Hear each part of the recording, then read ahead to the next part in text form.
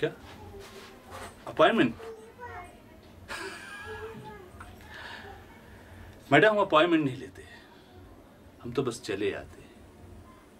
और जहाँ आ जाते हैं, वहीं पे छा जाते हैं। प्रताप विधायक के भतीजे हैं मामला कोई भी हो, नतीजा तो आखिर भतीजा ही तय करता है।